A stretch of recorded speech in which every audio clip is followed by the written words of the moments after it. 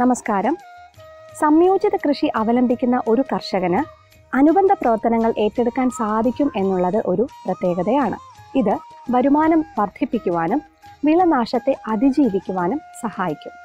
നെല്ല് തെങ്ങ് വാഴ പുരയുടെ കൃഷി അധിഷ്ഠിതമായിട്ടുള്ള എല്ലാ സംയോജിത കൃഷി സമ്പ്രദായത്തിലും അനുഷ്ഠിക്കാൻ സാധ്യമായിട്ടുള്ള ഒരു ലളിതവും എന്നാൽ ആദായകരവുമായ അനുബന്ധ പ്രവർത്തനമാണ് കൂൺ കൃഷി.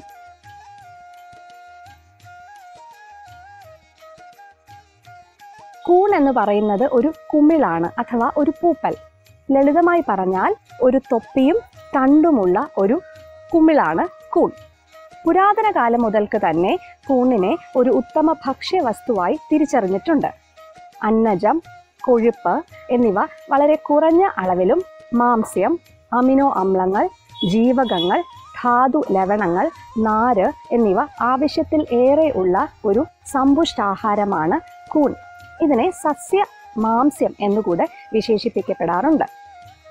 ഇന്ത്യയിൽ വാണിജ്യാടിസ്ഥാനത്തിൽ നാല് തരം കൂണുകളാണ് പ്രധാനമായും കൃഷി ചെയ്തു വരുന്നത്. ഇവ ചിപ്പിക്കൂൺ ബട്ടൻ കൂൺ വക്യോൽ കൂൺ പാൽക്കൂൺ എന്നിവയാണ്. കേരളത്തിന്റെ തനതായ കാലാവസ്ഥയ്ക്ക് അനുയോജ്യവും വർഷം മുഴുവനും കൃഷി ചെയ്യാൻ പറ്റുന്നതുമായിട്ടുള്ള ആദായകരമായ ഒരു കൂണാണ് ചിപ്പിക്കൂൺ ചിപ്പിയുടെ ആകൃതി ഉള്ളതിനാലാണ് ഇതിനെ ചിപ്പിക്കൂൺ എന്ന് പറയുന്നത്. ഫ്ലൂറോട്ടസ് എന്നതാണ് ഇതിന്റെ ശാസ്ത്രനാമം. വർഷം മുഴുവൻ കൃഷി ചെയ്യാനുള്ള സാധ്യത അധികം മുതൽ മുടക്കില്ലാതെ ആരംഭിക്കാൻ പറ്റുന്ന ഒരു വരുമാന മാർഗം എല്ലാവർക്കും പ്രത്യേകിച്ചും വനിതകൾക്ക് ഏറ്റെടുക്കാൻ പറ്റുന്ന ഒരു സ്വയം തൊഴിൽ സംരംഭം എന്നീ നിലകളിൽ ചിപ്പിക്കൂൺ കൃഷി വളരെയേറെ പ്രാധാന്യം അർഹിക്കുന്ന ഒന്നാണ്. അപ്പോൾ ചിപ്പിക്കൂൺ കൃഷിയുടെ കൃഷി രീതികളെക്കുറിച്ചാണ് നാം ഇന്ന് മനസ്സിലാക്കാൻ പോകുന്നത്.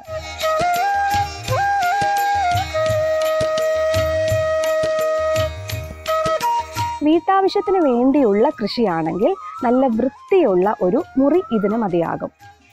ഏകദേശം ഇരുപത്തഞ്ച് മുതൽ മുപ്പത്തിരണ്ട് ഡിഗ്രി സെൽഷ്യസ് താപനില എൺപത് മുതൽ എൺപത്തഞ്ച് ശതമാനം അന്തരീക്ഷ ഈർപ്പം സൂര്യപ്രകാശം നേരിട്ട് പതിക്കാത്ത ഒരു സാഹചര്യം. ഇവ മൂന്നും ഉണ്ടെങ്കിൽ ഒരു നല്ല വൃത്തിയുള്ള മുറിയിൽ നന്നായി വീട്ടാവശ്യത്തിന് നമുക്ക് കൃഷി ചെയ്യാൻ സാധിക്കും.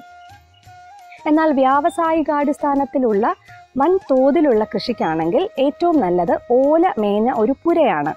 കിഴക്ക് പടിഞ്ഞാറ് ദിശയിലേക്ക് ഫേസ് ചെയ്യുന്ന തരത്തിൽ വേണം നമ്മുടെ കൂൺപുര. കൂൺ എന്ന് പറയുന്നത് വളരെ സോഫ്റ്റ് ആയിട്ടുള്ള ഒരു ഭക്ഷ്യ പദാർത്ഥമാണ്. രോഗകീട ആക്രമണം എളുപ്പത്തിൽ ഇതിനെ ബാധിക്കാൻ സാധിക്കുന്നതിനാൽ ശുചിത്വം എന്നുള്ളത് വളരെ പ്രധാനപ്പെട്ട ഒന്നാണ്. സംയോജിത കൃഷി അവലംബിക്കുമ്പോൾ കാലിത്തൊഴുത്ത് വളക്കുഴികൾ മിത്രകുമിളായ ട്രൈക്കോഡർമയുടെ ഉൽപാദന മുറി ഇവയിൽ നിന്നും വളരെ അകലെയായി വേണം നമ്മുടെ കൂൺപുര തയ്യാറാക്കുവാൻ. അടുത്തതായി കീടങ്ങളും രോഗാണുക്കളുടെയും ആക്രമണം എളുപ്പത്തിൽ ബാധിക്കുന്ന ഒരു ഭക്ഷ്യവസ്തു ആയതിനാൽ കൂൺപുരയുടെ ജനലുകളിലും വാതിലുകളിലും ചെറിയ സുഷിരങ്ങളുള്ള മെഷ് ഉപയോഗിക്കാം. ഇത് കീടങ്ങളെ ഉള്ളിലേക്ക് കയറാതിരിക്കാൻ സഹായിക്കും. ഇതുകൂടാതെ കൂൺപുരയ്ക്ക് ഉള്ളിൽ കയറുന്നതിന് മുൻപ് പൊട്ടാസ്യം പെർമാംഗനേറ്റ് എന്ന രാസപദാർത്ഥം കലർത്തിയ വെള്ളം സംഭരിച്ചു വെക്കുവാനുള്ളൊരു സജ്ജീകരണം പുറത്ത് ഉണ്ടായിരിക്കണം. ഇതിൽ കാലുകൾ കഴുകി വേണം കൂൺപുരയ്ക്ക് ഉള്ളിൽ കയറാൻ. ഇതും അണുബാധ കുറയ്ക്കാൻ സഹായിക്കും. ഇത്തരം ഒരു കൂൺ പുര തയ്യാറാക്കി കഴിഞ്ഞാൽ കൂൺ കൃഷിയിലേക്ക് നമുക്ക് ഇറങ്ങാം. കൂണിന്റെ വളർച്ചാഘട്ടത്തെ രണ്ടായി തരംതിരിക്കാം. ആദ്യത്തെ പതിനഞ്ച് മുതൽ ഇരുപത് ദിവസം വരെ കൂണിന് ഇരുട്ട് ആവശ്യമാണ്. ഇരുട്ടും ഈർപ്പവും ഉണ്ടെങ്കിൽ കൂണിന്റെ തന്തുക്കൾ മാധ്യമത്തിൽ പടർന്നു പിടിക്കും. ആയതിനാൽ ഒരു ഇരുട്ടുമുറി നമുക്ക് ആവശ്യമാണ്.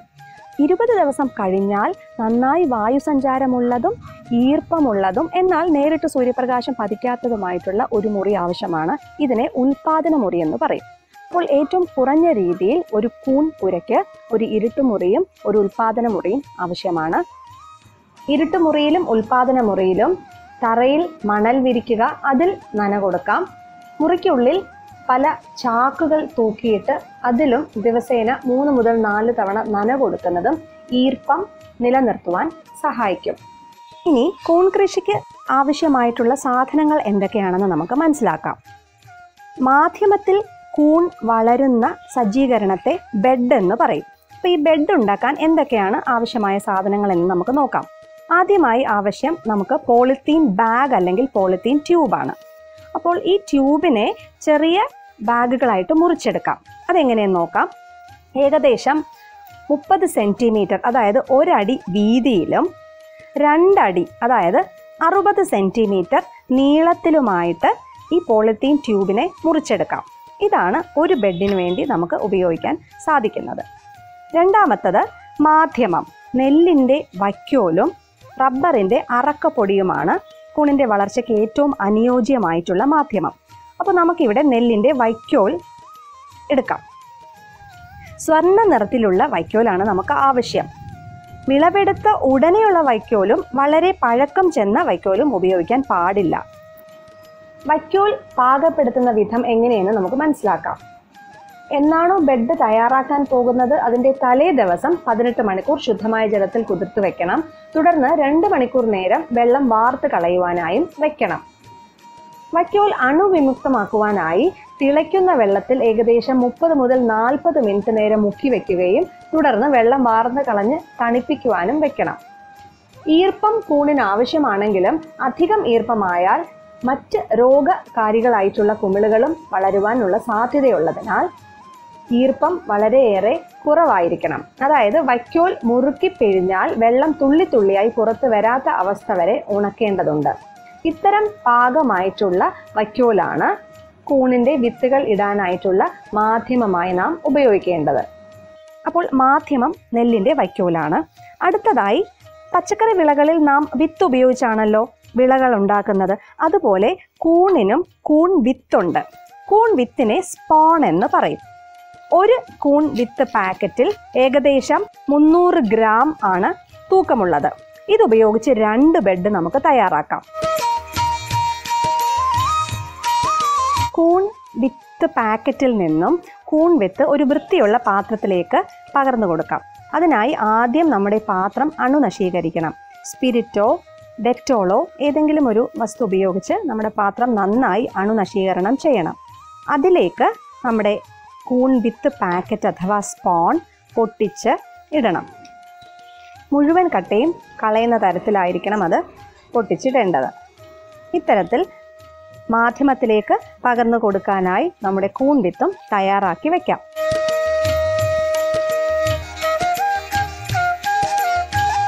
പോളിത്തീൻ ട്യൂബ് ആകുമ്പോൾ രണ്ട് വശങ്ങളും തുറന്നതായിരിക്കും. ആയതിനാൽ ഒരു വശം നന്നായി ചരടുപയോഗിച്ച് ഇറുക്കി കെട്ടണം.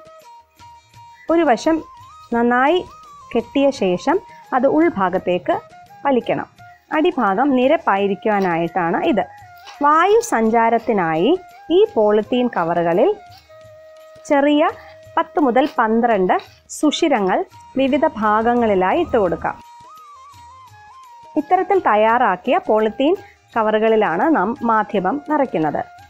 നെല്ലിന്റെ വൈക്കോലാണ് ഏറ്റവും നല്ല മാധ്യമം. എന്നാൽ സംയോജിത കൃഷി സമ്പ്രദായം അനുഷ്ഠിക്കുന്ന ഏതൊരു കർഷകനും അവിടെ ലഭിക്കുന്ന ഏത് ജൈവാവശിഷ്ടവും കൂണിന്റെ മാധ്യമമായി തിരഞ്ഞെടുക്കാം.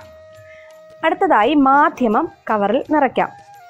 ആദ്യത്തെ അടുക്ക് രണ്ട് ഇഞ്ച് ഖനം വരുന്ന രീതിയിലാണ് കവറിന്റെ അടിഭാഗത്ത് ആദ്യ അടുക്കായി വെക്കേണ്ടത്. ഇത് വെച്ച ശേഷം നന്നായി കൈകൊണ്ട് അമർത്തണം. ഈ അടുക്കിന്റെ പുറത്തായിട്ടാണ് കൂൺ വിത്ത് വിതറേണ്ടത്. നന്നായി കട്ട കളഞ്ഞ വിത്ത് ഒരു പിടി. കവറിന്റെ അരികിനോട് ചേർന്ന് വശത്തേക്കായി ഇട്ട് കൊടുക്കാം. കൂണിന്റെ തന്തുക്കൾ വളർന്ന് വെളിയിലേക്ക് വരാനുള്ള സൗകര്യമൊരുക്കുകയാണ് ഇതുവഴി നാം ചെയ്യുന്നത്. ഇതിന് പുറത്തായി രണ്ടാമത്തെ തട്ടായി വീണ്ടും അഞ്ച് സെന്റിമീറ്റർ അല്ലെങ്കിൽ രണ്ട് ഇഞ്ച് കനത്തിൽ മാധ്യമം അതായത് നെല്ലിന്റെ വൈക്കോൽ വയ്ക്കാം. ഓരോ പ്രാവശ്യം മാധ്യമം വെക്കുമ്പോഴും കൈവച്ച് നന്നായി അമർത്തണം. ഈ അടുക്കിന്റെ പുറത്ത് വീണ്ടും നെൽവിത്ത് കവറിന്റെ അരിക് വശം ചേർന്ന് വശത്തേക്കായി ഇട്ട് കൊടുക്കാം ഒരു പിടി. ഇത്തരത്തിൽ അഞ്ച് അടുക്കുകൾ ഒരു പോളിത്തീൻ കവറിൽ നിറയ്ക്കാൻ സാധിക്കും.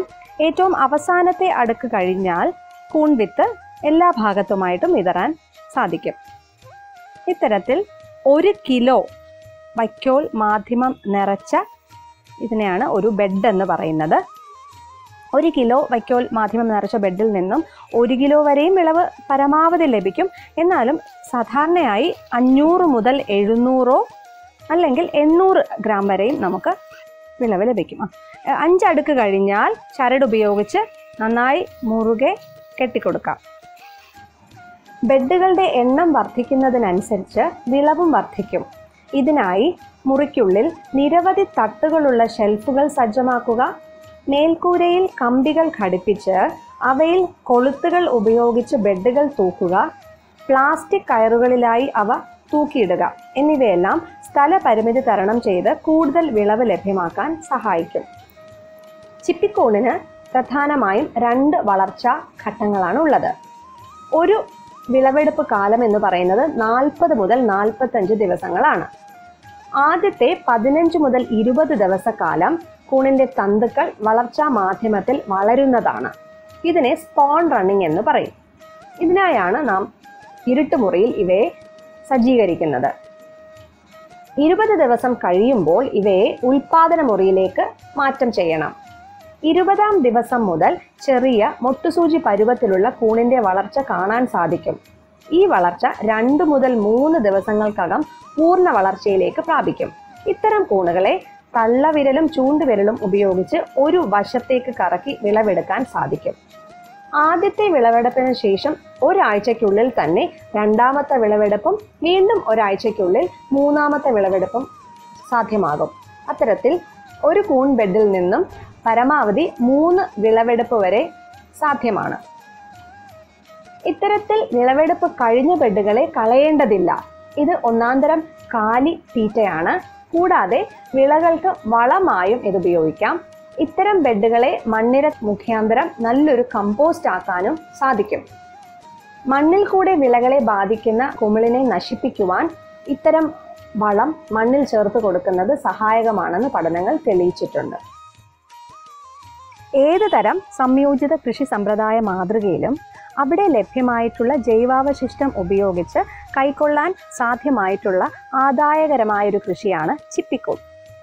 കൂണിന്റെ വിളവെടുപ്പിന് ശേഷമുള്ള മാധ്യമം ഒരു മികച്ച കാലിത്തീറ്റയാണ് എന്നുള്ളതിനുപരി ഒരു നല്ല ജൈവ വളവും രോഗ നിയന്ത്രണത്തിനുള്ള ഒരു ഉപാധി കൂടിയാണ്. ഇത്തരത്തിൽ സ്ഥലപരിമിതി ഉള്ളവർക്കും വളരെ ലളിതമായി ചെയ്യാൻ സാധ്യമായിട്ടുള്ള ഒരു തൊഴിൽ സംരംഭമാണ് ചിപ്പിക്കൂൺ കൃഷി.